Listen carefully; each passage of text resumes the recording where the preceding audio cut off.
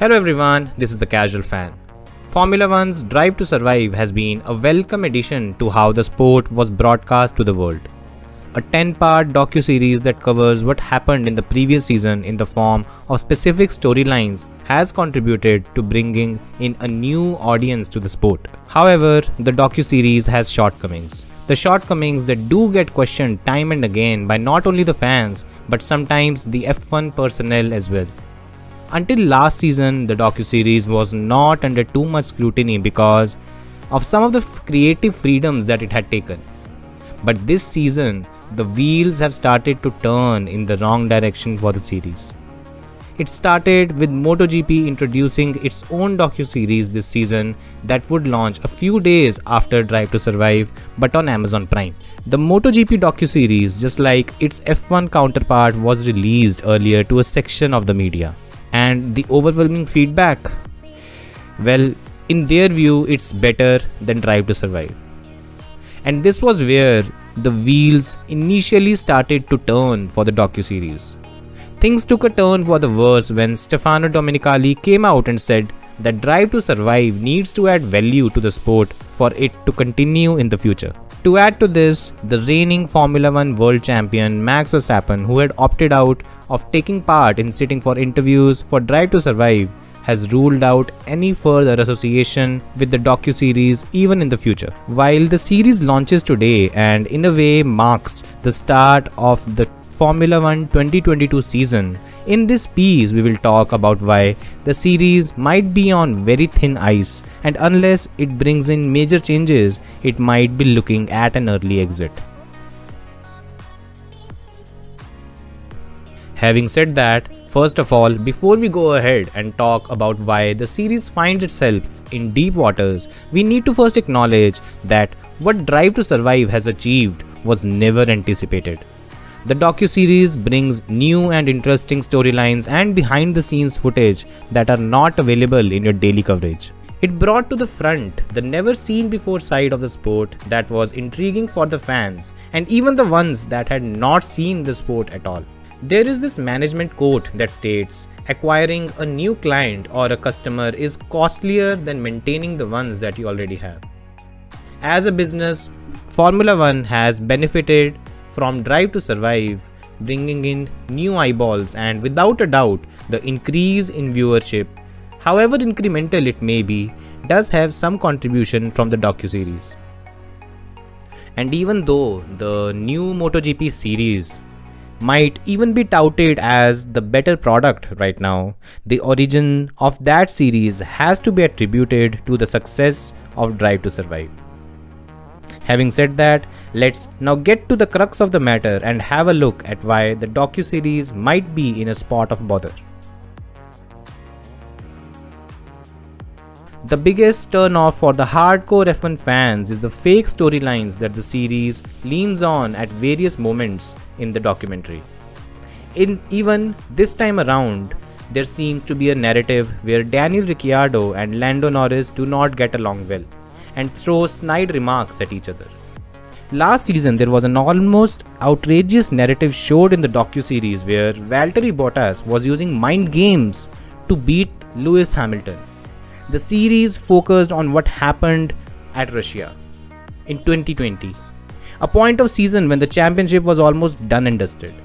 However, it was never touched upon why such mind games were not played before or even after the Russian Grand Prix as Bottas well he was if we are fair thoroughly outclassed by Hamilton throughout that season the veracity of such episodes is what is always brought into question when these fake narratives are built upon for one episode but do not hold true when you look at the season in its entirety.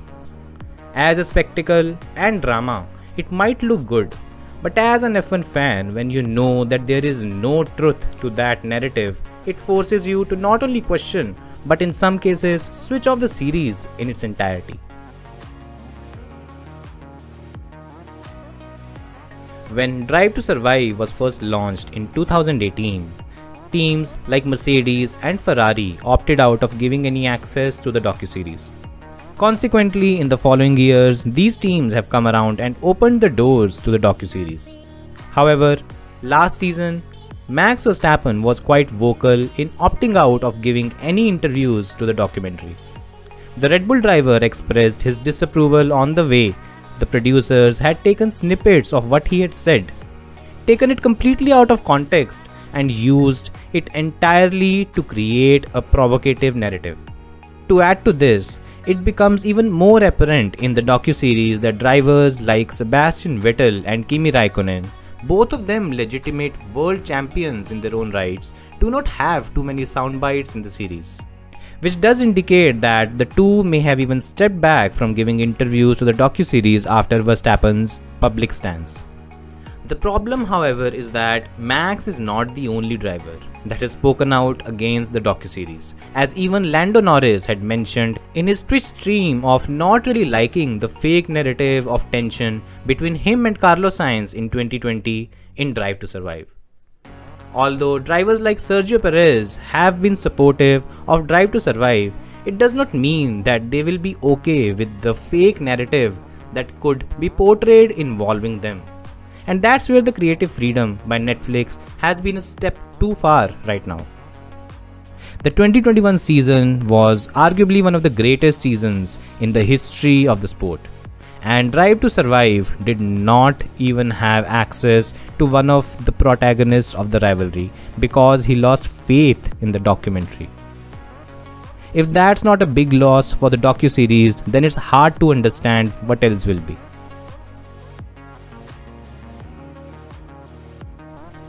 The biggest critique faced by the series right now is the fact that somewhere down the line, by focusing on drama, entertainment, and maybe even a bit of controversy, the real sport is missed out.